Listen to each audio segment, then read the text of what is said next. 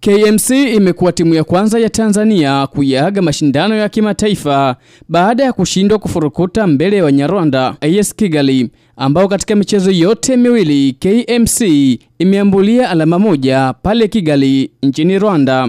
Kocha msaidizi wa kikosi hicho Mlange Kabange amekiri kikosi chake kukosa uzoefu kwenye michuano ya kimataifa. Tumejitahidi kucheza kadri ya uwezo wetu, na nafikiri kitu ambacho kimetuponza zaidi ni kukosa uzoefu wa mashindano haya makubwa, na vijana wetu wamepoteza umakini.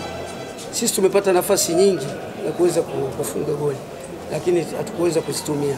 Wenzetu wamepata nafasi mbili tu ambazo wamezitumia. Wame Mlinda lango na nahodha wa kikosi hicho Juma Kaseja amesema baada ya kuondolewa kwenye michuano hiyo wanahamishia hasira zao ligi kuu Tanzania bara inayoanza Jumamosi hii.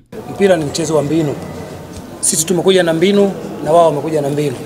Mbinu zao zimeenda kukliki ndani ya uwanja, wamepata matokeo.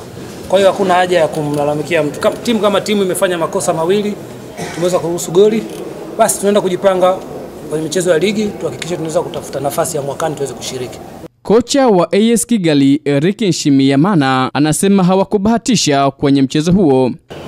Kingine ndio sasa ni mpira wenyewe tumetayarisha sana kwa gisi tumekuwa tumeona KMC eh, kwa Sekafa kwa mchezo wa kwanza gisi wanacheza tunaweza sema kama si uh, tumetumia juu Kigali tume kwa tuko na possession possession lakini tu hapa tulijua kama watakuja wanataka kufunga, si tutumie zile space wataweza kwa wali waliacha nyuma yao.